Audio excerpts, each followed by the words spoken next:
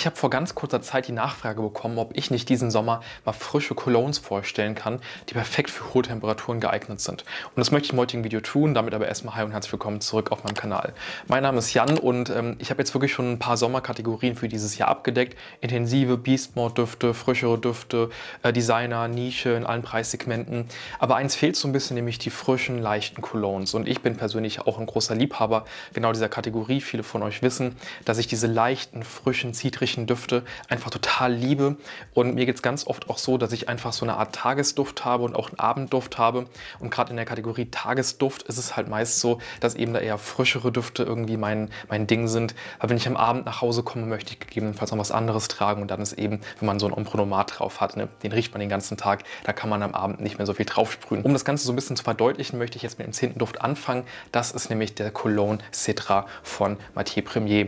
Und ähm, auch ein Duft, ähm, den ich, äh, ich glaube, noch nie vorgestellt habe. Ich habe hier zu Hause so ein Mathieu Premier äh, Duftproben-Set und mir ist da ganz besonders der Cologne Citra aufgefallen, da er eben diese schöne, natürliche Zitruskopfnote kombiniert mit so einem würzigen, grünen Basisding. Und es ist spannenderweise nicht der nächste Holz-Zitrusduft. Bin ich jetzt auch nicht dagegen, ne? aber es ist halt nicht langweilig. Und er hat eben so eine gewisse konservative Würze mit drin, wirkt aber trotzdem modern und sehr spritzig, sehr natürlich in der Kopfnote. Mag ich total, kann ich auf jeden Fall empfehlen. Für die Fans von Ton Colognes ist das so ganz kurz vor Endlevel. Der nächste Duft ähm, ist, glaube ich, eher für die Einsteiger das Richtige. Das ist nämlich der Jake von Hollister.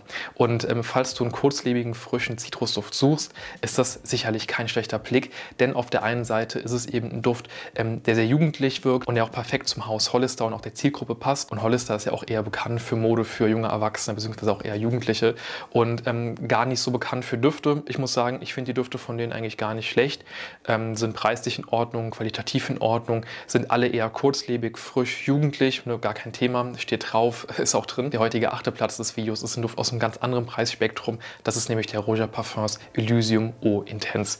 Und ähm, der Eau Intense ist ja persönlich mein Lieblings-Elysium. Ähm, ich finde das Original cool gemacht, das zündet bei mir aber nicht so wirklich und gerade die Eau Intense Version, das ist halt ein Duft, der zündet bei mir unfassbar.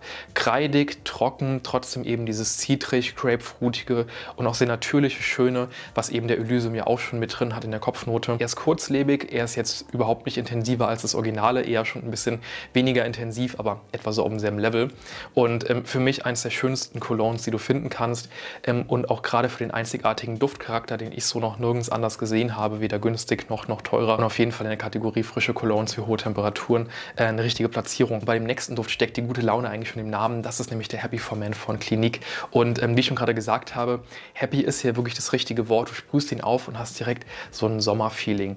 Ähm, es ist eben wirklich eben eine schöne orangige Kopfnote, ein bisschen was Herbes mit drin, auch so ein bisschen, ich habe das mal damals irgendwie verglichen so mit Ästen und mit auch ein bisschen diesem Grünzeug, was man an so einem Strauch irgendwie dran hat, auch so ein bisschen mit reingeworfen. Sehr kurzlebig, sehr frisch, ähm, gerade für Temperaturen. Ich sage so ab 30 Grad geht es irgendwie los mit dem Duft, dann kann ich ihn erst tragen aber dann ist er wirklich perfekt und dafür kann ich ihn auch wirklich empfehlen. Ähm, ist für mich so ein Urlaubsduft, kostet nicht viel Geld, bekommst du in jedem Urlaubsland, kannst du dir mitnehmen. Es gibt ja eigentlich nichts Schöneres, wenn du einen Duft, man nennt es ja auch Scent Memory, äh, mit Gefühlen, Emotionen, Personen, Orten, ähm, einzigartigen Momenten verbindest. Und der Klinik Happy hat vielleicht das Potenzial da bei dir ähm, auf jeden Fall mal einen Blick wert. Ähm, gerade auch ähm, preislich ist das natürlich eine absolute Granate. Der nächste, ähm, das ist ein Duft aus dem Hause MFK, Petit Matin. Beim Namen ist in meinen Augen auch ein wunderschöner Duft, so ein bisschen der Gegenspieler zum Grand Soir. Grand Soir ist ja eher so ein Abend ausgeduft, sehr opulent, intensiv. Petit Matin genau das Gegenteil. Frisch, leicht, ähm, sommerlich und gerade auch hier sommerliche hohe Temperaturen. Ähm, da funktioniert er wirklich am besten. Und ähm, gerade Petit Matin, über ihn wird selten gesprochen, weil so im Alltag performt er halt, also es ist ein Duft, der hält den ganzen Tag schon irgendwie durch, aber er hat eben nicht so diese opulente, krasse, frische, zitrische DNA. Und das ist eben einer der wenigen Zitrusdüfte, die eben nicht diese krass explosive Grapefruit haben, wie ja viele mittlerweile. Perseus äh, erwähne ich da ganz gerne immer mehr oder Turati Plu. Ähm, er ist nicht so krass in der Kopfnote wie die, hat aber trotzdem eine sehr gute Haltbarkeit. Francis Curtigan hat hier auf jeden Fall wieder gezaubert und was gemacht, was eigentlich niemand schafft, nämlich einen langanhaltenden, frischen Zitrusduft. Ähm, kann man hier auf jeden Fall nur so bestätigen. Ähm, der nächste Duft ähm, kommt äh, aus dem Hause Creed. Der nächste Nischenduft, ihr merkt schon, das ist nämlich der Neroli Sauvage. Und ähm, ich habe natürlich ein paar teure Nischendüfte mit hier drin im Video, was einfach der Tatsache geschuldet ist, dass eben viele Colognes das ist so ein bisschen meine Erfahrung mittlerweile, extrem teuer sind. Es gibt so diese 4711 Düfte, die extrem günstig sind, die du überall irgendwie für Sportpreise bekommen kannst. Dazwischen gibt es eigentlich relativ wenig so im Designersegment und dann in der Nische geht es halt wirklich erst wieder los. Deswegen verzeiht mir so ein bisschen auch die heutige Zusammenstellung. Ähm, aber ich muss wirklich sagen, Neroli Sauvage ist halt einer der schönsten Neroli-Düfte, die du finden kannst. Ähm, er ist eigentlich genau das, was draufsteht, frisch Ambroxanik. Auf der anderen Seite eben, er hat eine schöne Neroli-Zitruskopfnote, wirkt zum Glück nicht Klostein aufwendig. Das ist ja mal so ein bisschen das, was bei Neroli schiefgehen kann. Ähm, und hier einfach wunderschön umgesetzt, ähm, kann ich wirklich sagen. Ja, ist sicherlich ähm, beim, beim Thema Preis-Leistung nicht die beste Empfehlung und ist auch sicherlich irgendwie nicht der beste Creed-Duft, den man empfehlen kann. Ist mir vollkommen klar, gar kein Thema. Aber ich muss wirklich sagen, die Haltbarkeit ist gut, die Duft-DNA ist sehr clean, er macht genau das, was draufsteht und er verhält sich auch so ein ganz klein bisschen wie der Petit Matin von MFK. Auch eine ganz gute Haltbarkeit, äh, eher zurückhaltend, dezent und trotzdem eben all in all ein gutes Package in meinen Augen kann ich wirklich sagen, der gefällt mir auch sehr gut. Ähm, weitermachen möchte ich jetzt mit einem Designer-Duft, endlich mal einer, das ist nämlich der Bulgari Wood Neroli und das ist einer meiner Lieblingsdüfte von Bulgari und es ist ja auch wirklich kein Geheimnis, dass ich ein riesiger Fan von diesen Bulgari-Düften bin, ähm, sowohl Terra Essence, Man in Black ähm, liebe ich, das sind ja eher Herbst-Winter-Düfte. Äh, Wood Neroli ist ein wunderschöner Sommerduft, so ein bisschen ähm, der Duft meines vergangenen oder sogar des vorletzten Jahres, jedenfalls der letzten Jahre immer wieder getragen, immer wieder empfohlen. Ich glaube, das kann man diesen ganzen Bulgari-Düften nachsagen. Ähm, das teilen die alle, die DNAs sind nicht langweilig. Ähm, Neroli ist nicht langweilig. Äh, Man in Black ist nicht langweilig. Auch gerade sowas wie Terra Essence mit diesem trockenen, trotzdem diesem fruchtigen in der Kopfnote.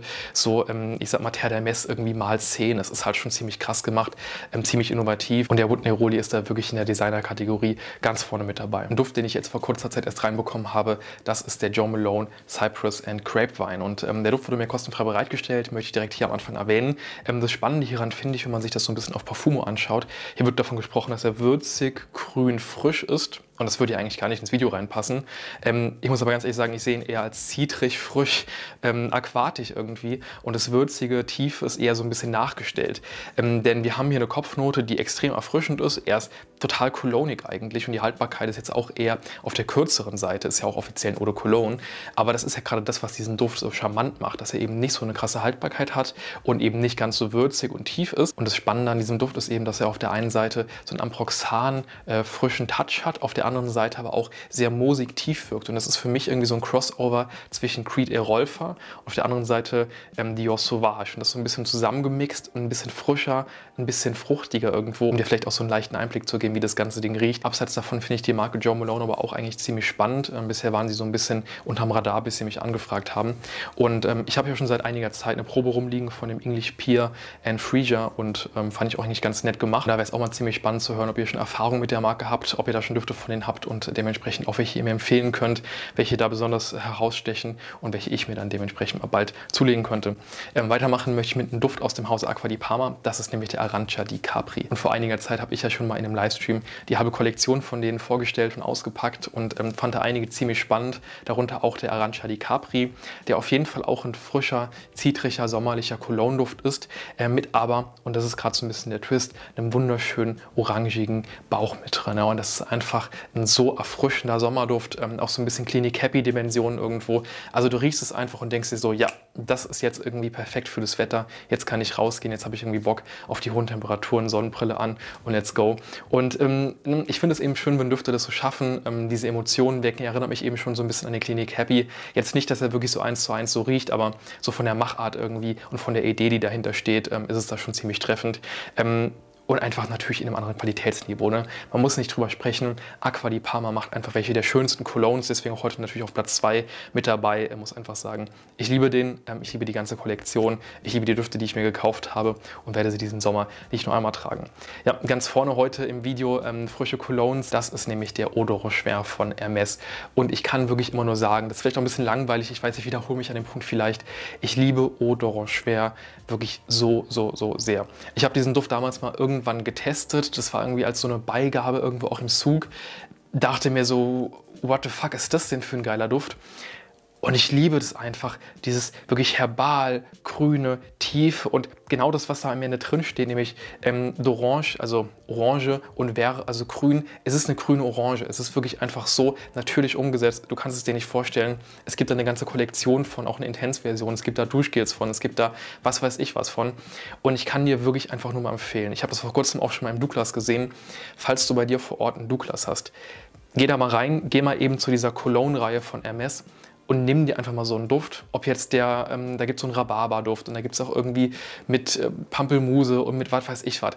Nimm dir mal so einen Duft, sprüh die auf und du wirst wirklich merken, dass diese ganzen Düfte ordentlich was hinter den Ohren haben. Und das kann ich auch auf jeden Fall nur für Eau d'Orange schwer sagen. Und ich möchte mich da auch gar nicht verstellen. Das ist einfach mein Lieblings-Cologne. Im Sommer wird das Ding nicht nur einmal ausgepackt, sondern ähm, sehr oft tatsächlich. Man kann es sehr gut mitnehmen. Das Ding ist total stabil ähm, und ähm, ist einfach schön gemacht. Also all in all, ich kann sagen, MS, ähm, diese Cologne-Reihe, teste dich da auf jeden Fall mal durch. Ähm, gibt wirklich da einige einige Schätze von. Ja, schreibt mal gerne in die Kommentare, was so deine Lieblingscolognes ähm, für den Sommer sind, die letzten Jahre, vielleicht auch dieses Jahr, was da so deine Auswahl ist und natürlich auch, ob du solche eher zarteren, frischeren Düfte überhaupt magst oder ob du dann eher auf intensivere Beast Mode Düfte setzt. Ich persönlich mag eher die leichteren Düfte, aber das ist wie immer Geschmackssache. Danke dir soweit fürs Zuschauen, like gerne das Video, falls es dir gefallen hat und wir sehen uns dann beim nächsten Mal.